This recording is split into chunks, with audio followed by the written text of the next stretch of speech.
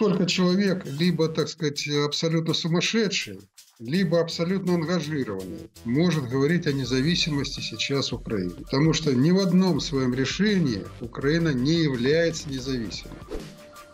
Я видел этого искреннего человека, который, так сказать, и заблуждался, может быть, в чем-то, и, может быть, иногда принимал не совсем выверенные решения, но это был патриот своей страны, мы к этому празднованию всегда подходили с какими-то, так сказать, результатами, которых можно было народу доложить. А вот с каким результатом э, Зеленский выходил, ну, это э, надо у него самого спрашивать. Потому что то, что он там вещал, это мало напоминало праздничную речь. И просматривалось и отчаяние, и безысходность. Зеленский и вся его комарилья, естественно, на какие переговоры без команды американцев не пойдут. Второе. Значит, если американцы и дадут такую команду в результате каких-то, так сказать, договоров с Российской Федерацией, в результате каких-то переговоров, то ведь американцев цель не убрать этот режим, а напротив его сохранить.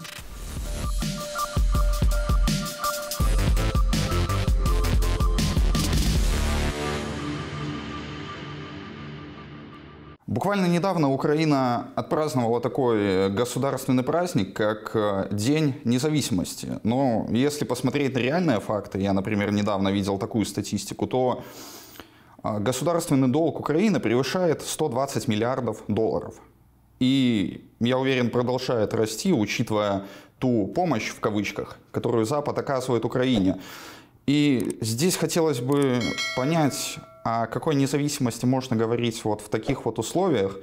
И есть ли шансы в ближайшей краткосрочной или среднесрочной перспективы у Украину эту независимость обрести? Как вы считаете? Прежде всего, если вы видели репортажи из Киева, то то, что происходило на Михайловской площади, по-моему, это никак не напоминало праздник, потому что все эти, так сказать, деятели киевские были обучены в какие-то костюмы цвета хаки. Вот. И ни, ни, на лицах я не видел ни радости, и, в общем-то, и народ тоже, так сказать, не проявлял никакой радости. Я же много раз участвовал в э, праздновании этого Дня независимости, и мы к этому празднованию всегда подходили с какими-то, так сказать, результатами, которых можно было народу доложить. А вот с каким результатом э, Зеленский выходил, ну, это э, надо у него самого спрашивать. Потому что то, что он там вещал, это мало напоминало праздничную речь. И просматривалось и отчаяние, и безысходность. Ну, в общем-то, совершенно очевидные моменты. Но только человек, либо, так сказать, абсолютно сумасшедший, либо абсолютно ангажированный, может говорить о независимости сейчас Украины. Потому что ни в одном своем решении Украина не является независимой.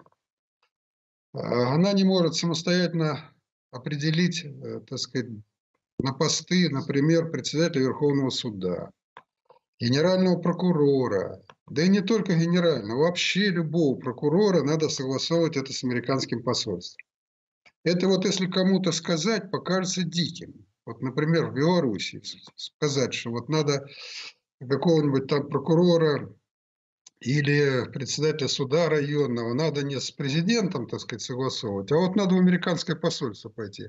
Наверняка белорусы поразятся и удивятся, да? А вот в Украине это совершенно естественно. Теперь вернемся к результатам. Ну, по-моему, это самый провальный год в истории, вот э, после 91 -го года в истории Украины. Самый провальный. И прежде всего хочу сказать о таких важнейших факторах в любом государстве, как падение численности населения. То есть демографический кризис. Нас было 52 миллиона, сейчас с трудом насчитать, если можно, 20. С трудом. Я даже в 20 не верю. Самые оптимистические, так сказать, официальные источники, типа там Института демографии, Академии наук, рисуют цифру 27. Но я понимаю, что там ну, надо что-то показывать. Но там и 27, конечно, и близко нет. Второй момент. Смертность выросла в два раза. Это я не считаю смертность, так сказать, на э, линии соприкосновения в, в зоне боевых конфликтов. Это бытовая смертность выросла в два раза. А рождаемость упала с 530 тысяч в год, как у нас было в 2013 году, до чуть-чуть цифры, но еще год не закончился, но если за первое полугодие взять 98 и умножить на 2, то это будет около 200 тысяч. А это означает два с половиной раза упала рождаемость. То есть Украина не просто вымирает, она еще страна, из которой люди активно уезжают. Причем активно уезжает ведь какое население? Не бабушки и не дедушки, которым развиваться некуда. А это самый производительный, как говорят, возраст. Это мужчины и женщины. Женщины в том возрасте, в каком надо детей рожать. Мужчина в том возрасте, когда надо совершать э, так сказать, какие-то свершения, работу, так сказать, иметь и так далее, и так далее. Вы упомянули государственном долге, он превысил 128 миллиардов и превышает сейчас валовый внутренний продукт страны. То есть о его отдаче никаких даже ни у кого мыслей не возникает, и никто об этом не думает.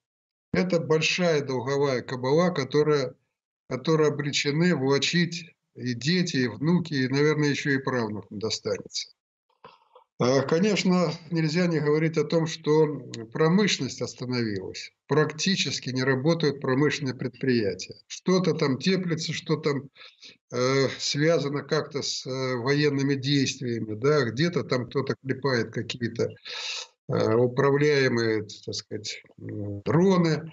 Вот, где-то что-то там еще там, так сказать, такие, такого типа работы ведутся. Но вот, скажем, если показать, посмотреть показатели экспорта или производства стали, например, ну, это один из ключевых показателей, то мы увидим падение невероятное. Если посмотреть на производство электроэнергии, то всегда Украина была экспортером электроэнергии, сейчас превратилась в импортера.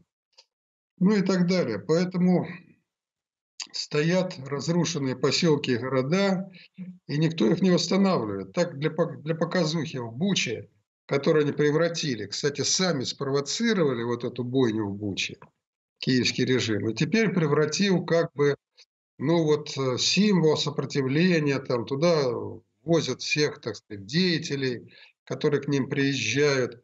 Они ходят с озабоченными лицами, значит, смотрят на этот небольшой поселочек – и вот им там говорят, что вот здесь совершено страшное преступление.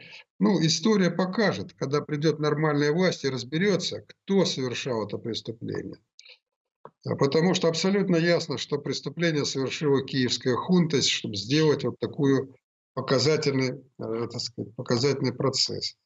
Поэтому День независимости – это день, к сожалению, зависимости. Никто не отмечал этот День независимости, надо заметить. Э, люди, так сказать, обычно мы это все отмечали, и праздники, там какие-то праздничные базары, там, ну, массовые мероприятия, спортивные. Э, никто это, так сказать, не праздновал, поэтому настроение у людей, к сожалению, далеко не праздничное. Вот вы упомянули новую власть, которая, ну, рано или поздно появится в Украине, очевидно, и которая придется решать ведь не только экономические вопросы, но и вопросы идеологические. Вот вы тоже упоминали молодежь, вот это вот трудоспособное население, которое активно сейчас выезжает за пределы Украины. Но какая-то часть ведь остается, и тоже слышал очень много историй в Украине, когда там маленькие дети совершенно чуть ли не детсадовского возраста там бегают во дворе, играют в войнушку, там кричат «бей русню», «бей москаля», и все в таком духе. И если вот это начинается уже с такого раннего возраста, то новой власти ведь придется решать эти вопросы, вытравливать вот эту вот нацистскую идеологию, которая насаживается с самого раннего возраста. А как вы считаете, молодежь в Украине потеряна или, в принципе, еще можно все вот это вот э, вытравить из их умов? Это не просто можно, это необходимо будет сделать. Иначе э, цель специальной военной операции так сказать, будет не выполнена. И все жертвы, понесенные в ходе этого конфликта, будут, так сказать, напрасны. Поэтому однозначно, а, ну, история знает примеры, многочисленные примеры, но и самый яркий пример – это, конечно, денацификация Германии послевоенная. А, степень зомбирования, э, так сказать, немцев националистической или нацистской идеологии была колоссальная, потому что уже Гитлер был мертв, а, так сказать, немецкие войска продолжали сражаться. 30 апреля он покончил жизнь самоубийством, а 2 мая еще велись бои, причем отчаянные бои. А 9 мая, как известно, освобождалась Прага. То есть, вот смотрите, неделю после смерти Гитлера и после уже откровенной капитуляции, значит, фашистские войска продолжали сражаться. Я читал много мемуаров, а, которые показывали или описывали последние дни так называемого Рейха Третьего, да, было видно, что система была выстроена на железной дисциплине, на абсолютно жестких карательных действиях, и даже после 1 мая, так сказать, описывали факты расстрела, э, за дезертирство, там, за, так сказать, какое-то не, не так сказал, не то высказал. И вот представьте себе, что через несколько лет от этой нацистской идеологии ни в Восточной Германии, ни в Западной Германии не осталось ни следа. Прежде всего потому, что были проведены чистки вот, все члены, ну, подавляющего, в Восточной Германии абсолютно все члены гитлеровской партии были, так сказать, уволены из э, рядов государственных служащих, образования там и так далее, и так далее, да. Более того, значит, были проведены не просто они уволены, а если они замешаны были в каких-то преступлениях, они были отправлены Э, так сказать, в места не столь отдаленные, как у нас обычно принято говорить, состоялся Нюрнбергский процесс, который осудил, приговорил к высшей мере наказания основных говорей Рейха. Э, были организованы экскурсии в концлагерях, где, так сказать, люди своими глазами видели эти зверства. И вот в результате вот такой целенаправленной работы, работы надо заметить, что ну, в Восточной Германии это процесс был абсолютным.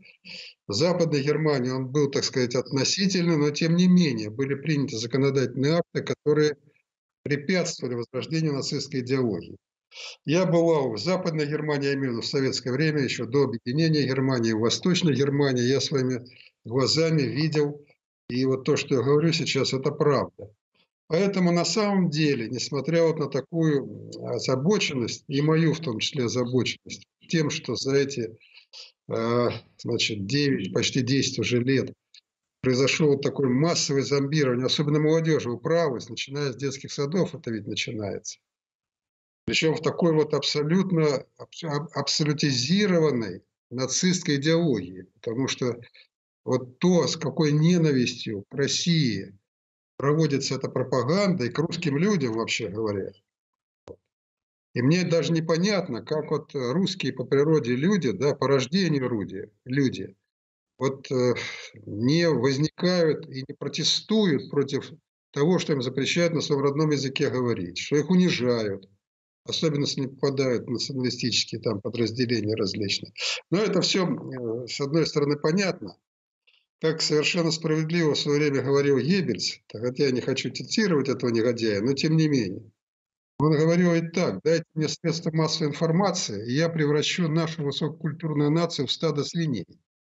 Вот это, к большому сожалению, произошло под мудрым руководством западных специалистов и в Украине. Но еще раз повторяю, что это дело временное, и после, скажем, завершения этой специальной военной операции и при принятии правильных решений по денацификации, прежде всего, да, можно будет ситуацию серьезно поправить. Потому что с этим режимом, с этой идеологией у Украины нет будущего. Вот что надо понимать.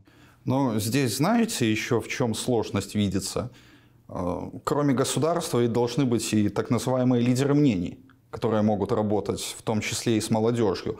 А их ведь э, не просто репрессируют, а в том числе убивают не только в Украине, но и за ее пределами. Там, ну, можно вспомнить тех же Дарью Дугину, Владлена Татарского. И я думаю, в самой Украине, наверное, с этим дела обстоят точно так же, если не хуже. Разве нет? Да, вы абсолютно правы. Мы ведем учет и внимательно смотрим за этой ситуацией. В Украине полностью уничтожены оппозиционные, э, реально оппозиционные, подчеркиваю, партии политические, лидеры были вынуждены уехать из страны, слава богу, что уехали своевременно. А многие, вообще-то говоря, сидят и в тюрьмах, там несколько тысяч человек политических заключенных. И вот сейчас образовалась уникальная ситуация. За рубежом Украины находится ну, около 20 миллионов граждан Украины. Ну, разных, числе в России, там, в Европе, там, по всему миру разбросаны. Мне, кстати, иногда приходят отзывы и комментарии на мои выступления. Представляете, из Новой Зеландии, Австралии. Вот. Я сомневаюсь, что там реальные зеландцы там смотрят меня, слушают, их это интересует. Что это наши граждане. Так вот, э, по сути дела, и политические партии, вот давайте посмотрим, в эмиграции находится, например, э, руководитель коммунистической партии Украины Симоненко. Я, например, председатель партии регионов, самая крупная партия политической Украины нахожусь. Теперь руководитель партии «Держава» Дмитрий Василец находится, так сказать, руководитель Союза левых сил руководитель партии «Наши» и так далее, и так далее. То есть, по существу, вся политическая э, оппозиция – это будущее, будущее, да, вот та политическая элита, если так можно сказать, которая будет работать с этими явлениями, о которых вы сейчас говорите. А вот та так называемая оппозиция, ОПЗЖ так называемая, да, они сейчас, ну, во-первых, были запрещены, но они, так сказать, люди сноровистые, Сейчас они зарегистрировали в Минюсте на базе своей, своей партии новый бренд. И как бы вы думали, как называется этот бренд? Украина по НУДС. Что в период, ну, так сказать, если на русский язык, то Украина превыше всего. Deutschland über alles. Вот это нацистский лозунг. Это же уму непостижимо, что э, бывший так называемый пророссийский деятель Юра Бойко, да, который, так сказать, претендовал на пост президента Украины – и был якобы пророссийским. Да? Он сейчас лидер партии украинской, которая взяла самые, так сказать, отъявленные бандеровские лозунги. Украина превыше всего. Так что э, вот эти события трагические, они поставили, как говорится, клеймо на каждого участника политического процесса кто не сдался и кто, так сказать, э, стал марионеткой у американцев. Потому что это все с согласия американцев делается. Левочкин, который партнер является Бойко, это известный, так сказать, агент американский. Он все время, так сказать, был представлен Кинуковичу, во многом способствовал государственному перевороту. И поэтому прекрасно себя чувствует. Вот как совершен переворот. Так сказать, режим Януковича обвиняется во всех грехных, смертных грехах. Во всех. Абсолютно. И в расстреле людей, там, и в чем он только, так сказать, не обвиняется. И вдруг глава его администрации, который почти до последнего дня работал главой администрации Януковича, вдруг себя прекрасно чувствует, без всяких проблем. Работает с Порошенко, сейчас с Зеленским. Ну, работает он, конечно, прежде всего с американцами. Поэтому вот то, о чем я говорю, это чрезвычайно важно. Если в процессе денацификации режима не удастся вот всех этих Э, так сказать, значит, так называемых оппозиционеров и вот этих нацистов не убрать из политической жизни страны, то Украина будет очень долго выкарабкиваться, если вообще выкарабкается. Поэтому решительная денацификация и приход к власти вот реальных оппозиционных сил, реальных к нацизму, стоящих на, на строчках декларации о государственном суверенитете – которая была принята в 90-м году и которая означала нейтралитет и дружелюбные отношения со всеми окружающими странами. Но вот для прихода вот этой вот новой власти, о которой вы говорите, совершенно очевидно. Первое, что нужно сделать, это, ну, по крайней мере, прекратить боевые действия. Потому что ну, западная техника, она сейчас усиленно утилизируется на фронте. Но что хуже всего, утилизируется не только западная техника, но и простые граждане Украины, не вот эти вот отъявленные нацисты, а обычные ну, учителя, доктора, слесари и прочее. И тем не менее, вот киевский режим, он продолжает заявлять о каком-то контрнаступлении, о войне до победы, о возвращении Донбасса, Крыма. И здесь возникает логичный вопрос, а что в принципе должно произойти, чтобы они наконец-то поняли, что ни к чему не придут и пошли на переговоры? Зеленский и вся его комарилья, естественно, ни на какие переговоры без команды американцев не пойдут. Второе. Значит, если американцы и дадут такую команду в результате каких-то, так сказать, договоров с Российской Федерацией, в результате каких-то переговоров, то ведь американцев цель не убрать этот режим, а напротив его сохранить. Поэтому будут американцы вырабатывать какие-то уступки определенные, в том числе и территориальные, возможно. Но для них главная задача сохранить вот этот режим, который спровоцирует военный конфликт и который, так сказать, решает задачи стратегические для американцев, ослабляет Российскую Федерацию. Ведь этот военный конфликт, он не только разрушает Украину, он ведь и ослабляет Российскую Федерацию. Поэтому не может быть положительного итога этого военного конфликта, если не будет достигнут самый главный результат. Это денацификация режима, то есть отстранение этого режима от власти. И приход к власти технического правительства на первом этапе, да, которое займется не нацистскими, так сказать, идеологией, не конфликтом, а займется восстановлением страны. Восстановление в Украине денацифицированного порядка жизни, то есть устранение всех вот этих вот э, нацистских, бандеровских группировок политических, так, и развитие демократии. Это очень сложный процесс, подчеркиваю.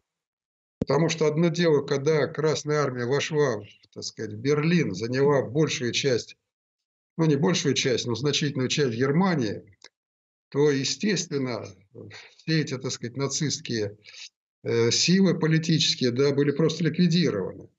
Они либо убежали куда-то за границу, либо просто попали под суд и, так сказать, и были ликвидированы. А совсем другая ситуация может сложиться в результате какого-то мирного процесса. То есть э, в стране останутся эти политические силы. Да, они будут отстранены от власти. Это вот в, в оптимальном это исходе переговоров. Да? Но никто не отнимет у них вот этих миллионов одураченных людей, зазомбированных. Никто не отнимет у них средства массовой информации, которые у нас, как известно, принадлежат олигархам и проводят идеологию олигархов. Вот. Это же для этого нужна денацификация еще и э, значит, средств массовой информации, потому что у нас один канал принадлежит олигарху Пинчуку, другой канал принадлежит там Ахметову олигарху, третий Коломойскому, четвертый там еще кому-нибудь. Вот. А все они работают под американцами. Поэтому тут процесс очень сложный. Так что э, тот, ту проблему, о которой вы говорите, она, естественно, ключевая достижение мира. Да? Мир не может быть достигнут на условиях американцев. Ну и этот мир, который будет достигнут путем мирных переговоров с действующим киевским руководством, он же просто может использоваться как очередная передышка. Просто чтобы вооружиться и снова пойти в бой, что называется. Ну, именно ж поэтому я вам и говорю, что нельзя этот режим оставлять у власти. Оставление его у власти означает поражение политической Российской Федерации, означает угрозу ее безопасности. Я не говорю уже об угрозе безопасности самой-то Украины, потому что продление этой политической жизни этого трупа означает дальнейшее разрушение Украины. А, замечу, что в истории был пример, когда, значит, скажем так, стал вопрос, а кто же будет руководить новой Польшей? А в Лондоне сидело иммигрантское правительство, которое в свое время заключало пакт о ненападении с Гитлером, так, проиграло войну, в течение двух недель было разбито, 1939 году, а, эмигрировал в Польшу и всю войну она, так сказать, гадила, так сказать, и мешала а, так сказать, освобождению Польши с советскими войсками. Создал армию Краева. Армия Краева не столько воевала с э, гитлеровцами, сколько, так сказать, устраивал геноцид мирного населения. И вот Черчилль на полном серьезе, значит, на известных, так сказать, саммитах, как сейчас говорится, а тогда на встречах в Ялте, требовал от Сталина, чтобы Сталин признал это лондонское правительство. И чтобы оно пришло к власти в процессе освобождения. И именно для этого было организовано так называемое польское восстание, когда передовые части Красной Армии подошли к Висле, а как известно, на другой стороне Вислы Варшава находится. Казалось бы, один рывок, и, так сказать, но, правда, она подошла уже после того, как прошла с боями почти 180 километров, была ослаблена.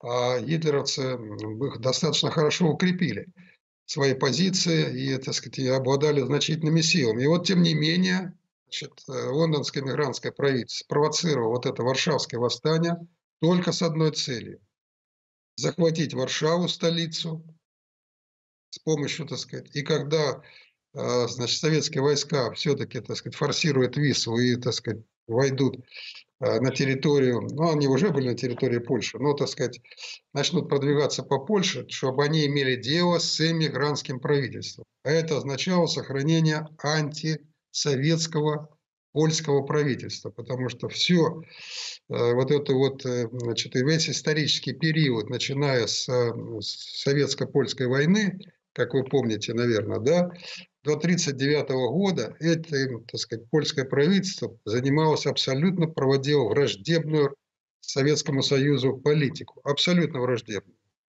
И, в общем-то, и благодаря этой своей позиции была и развязана Вторая мировая война, по большому счету, потому что, например, Чехословакию Советский Союз предлагал защитить но для этого ему надо было, чтобы поляки пропустили его через свою территорию. Ведь Западная это Украина, Западная Белоруссия были польскими.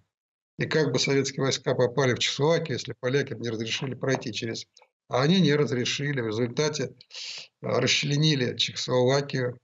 Саму Польшу защитить от немцев можно было только при одном условии, если поляки допустят на свою территорию советские войска. Тогда Гитлер бы не решился напасть. Они тоже отказались. Во всяком случае, я вот этот пример исторически привел для того, чтобы понимать, если Сталин пошел бы на компромиссы, то он получил бы источник.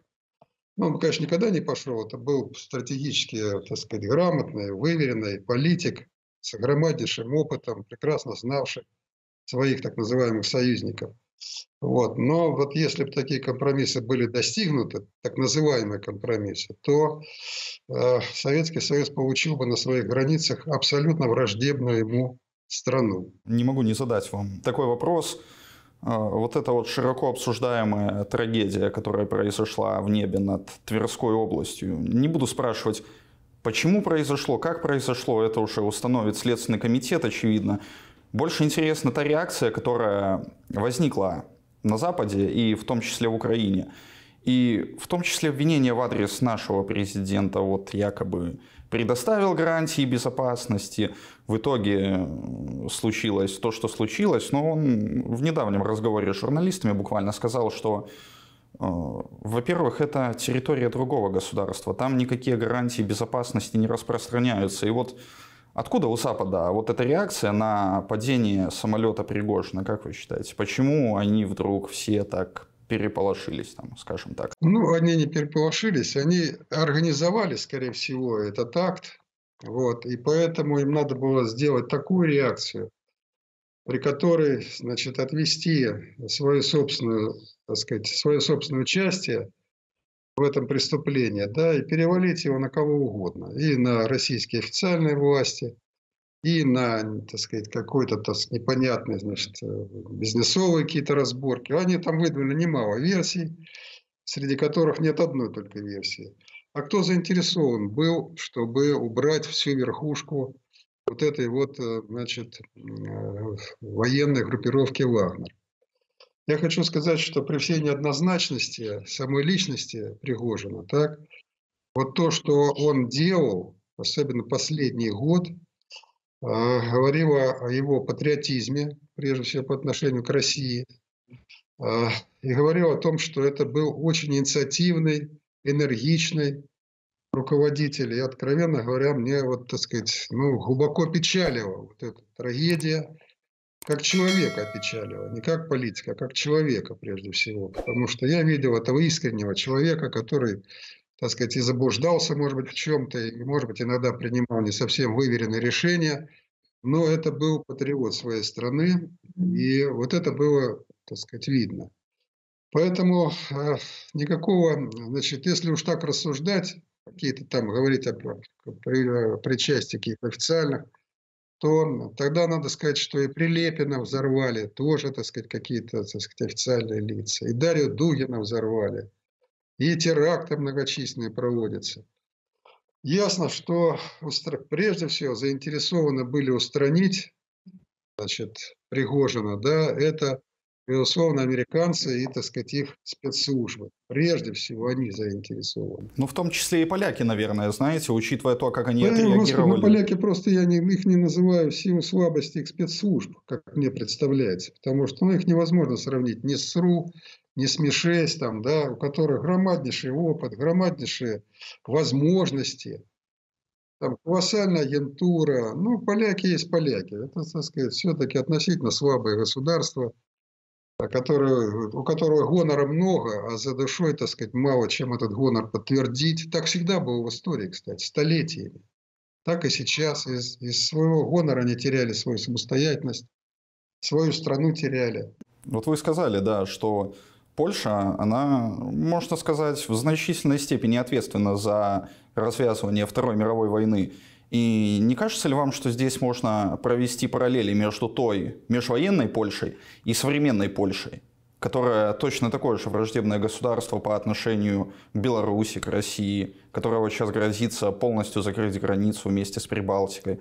Такие параллели, они, наверное, прослеживаются. Абсолютно вы правы. Точная копия того, что делал Пилсудский до своей смерти в 1936 году и что делали его последователи министр иностранных дел Бек, такой известный, да, который был одним из участников э, значит, заключения пакта Пилсудского Гитлера, да, э, портрет Гитлера повесил в своем кабинете. И он у него висел до момента вторжения гитлеровцев э, в Польшу.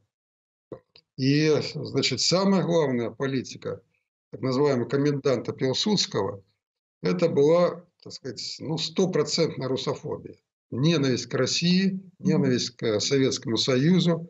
И постоянно, собственно говоря, он весь этот союз строил, так сказать, с Гитлером на том, что вот мы вместе с вами завоюем Советский Союз. Но Гитлер был, в отличие от Пилсудского, не дурак, надо заметить. Вот, то есть не, не, не, не до такой степени заангажированный, как Пилсудский.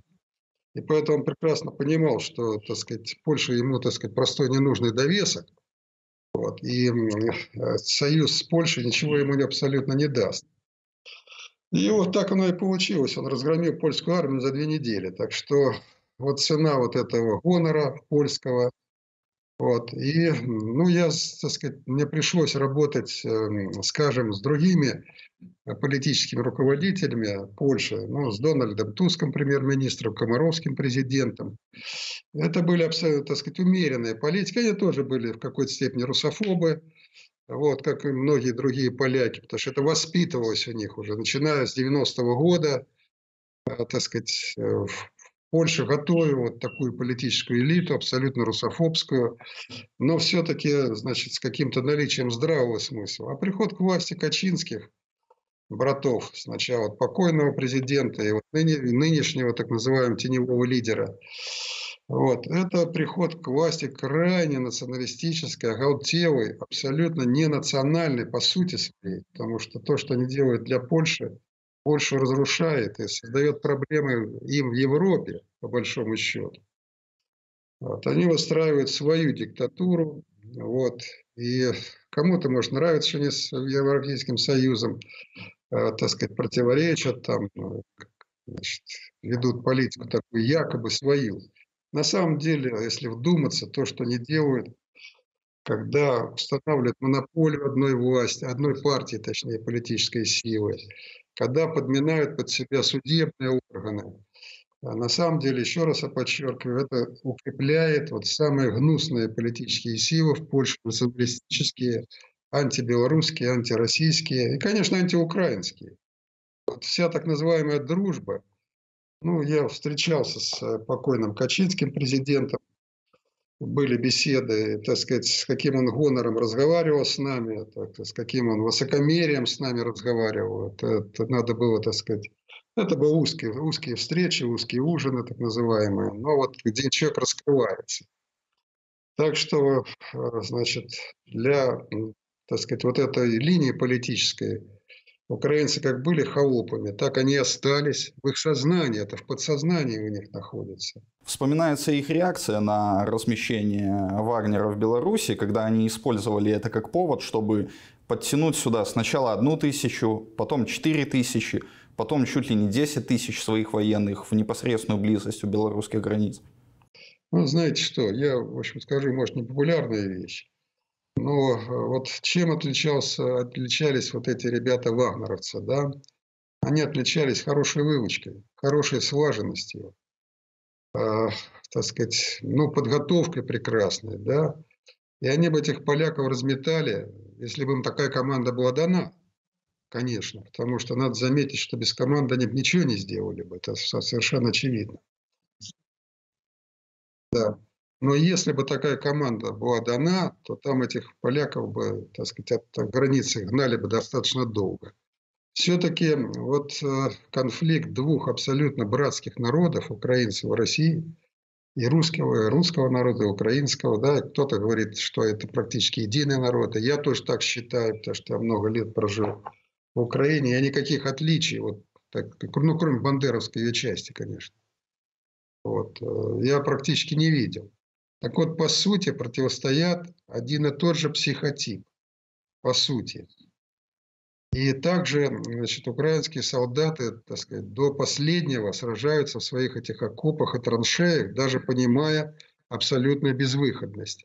Да, понятно, что стоят там карательные заслоны, понятно, что там, так сказать, жесткое наказание в случае, так сказать, и так далее, и так далее. Но тем не менее, вот не видеть того, что это, в общем-то, одни и те же психотипы, одни и те же люди, по сути дела. Только одни оболваненные вот этой зомбирующей пропагандой – Другие, так сказать, хотят, так сказать, своему, своему братскому народу помочь, по большому счету. Помочь и восстановить э, в стране нормальную жизнь. Я так лично понимаю. Что ж, Николай Янович, спасибо вам большое за эту беседу и за ваши искренние и развернутые ответы. Вам всего доброго.